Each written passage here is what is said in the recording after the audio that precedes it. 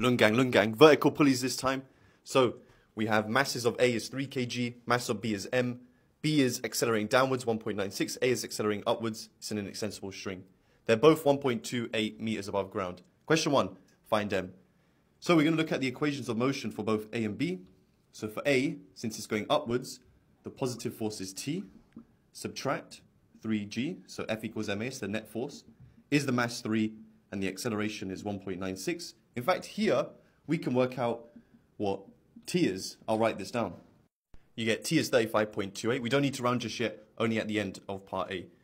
Now we need to do the same for part B. It's going downwards, so we're going to say mg minus t. I'm just going to say 9.8 m minus t, which is 35.28, equals the mass, which is just m, times the acceleration, then I'm going to bring this here, the 35 here. I'm going to divide by the coefficient of m. Then I'm going to write down what you get for m.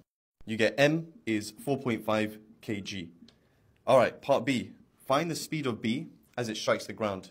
So this one is just a simple SUVAT question. So SUVAT S is 1.28. It starts from rest. We want to know what that is. And A is 1.96. We don't care about that. So this one's V squared is U squared plus 2AS. But U is 0. So V is going to be the root of 2 times A times S. I'm going to write down what that is. You get 2.24 meters per second. Now, part C, how high, find how high A reaches above the ground. So what's happening here is B is going to come down, A is going to go up. Then as B hits the ground, A is going to continue going up, then it will come back down. But we want to find the maximum height it reaches above the ground because the string is going to go slack. As B hits the ground, A is going to continue on its own. We're going to imagine the string, nothing happens. Now, when that happens, A is just going to be moving under gravity at that point. So it has a new acceleration of it just moving freely under gravity. So we need to model this different situation. So at that situation where B hits the ground, A is going to be moving at this speed.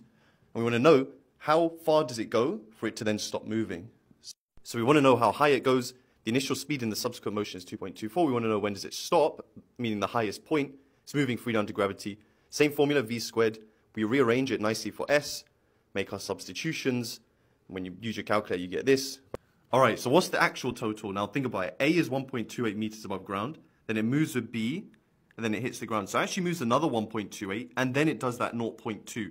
So the actual total is 1.28 plus 1.28 plus this 0.256, which is approxim approximately 2.8 to 2SF. Lungang, Lungang.